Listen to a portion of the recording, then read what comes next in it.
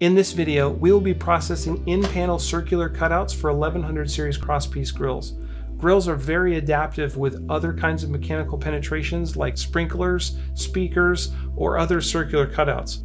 Regarding the tools that you're going to need, we've shown everything you're going to need here. But in particular, you're either going to want to use a half inch cordless drill with side handle with the appropriate size hole saw and arbor, or you're going to want to go back to the variable speed jigsaw in order to make your cuts.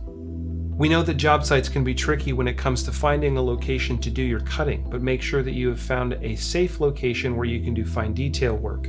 The first step would be verifying with the installing subcontractor exactly what the mechanical penetration will be and how big it is.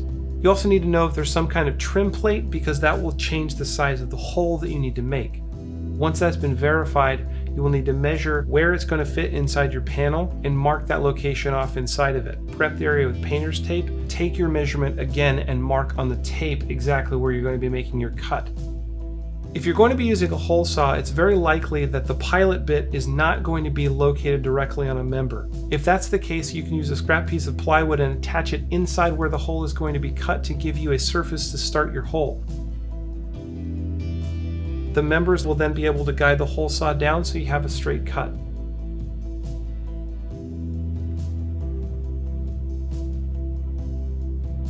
You can also use a jigsaw for the cuts, but you're going to want to make sure that the foot is flat and that you have consistency throughout all of your cuts. If you want to stop and ensure that you're on mark for the next cut, that's fine, you can do that, but you want to make sure that you finish the cut of a member completely before you move on to the next one and reset. Upon completion of the cutout, you're going to want to verify that the size of the hole is correct, remove the tape, and sand off any fibers that might be remaining. Then you can use the 9Wood Supply touch-up finish to seal the area and match the color and install the panel around the mechanical penetration.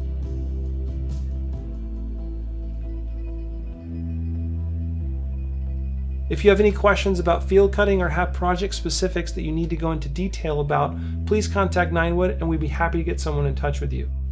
Thanks for watching, and we'll see you next time.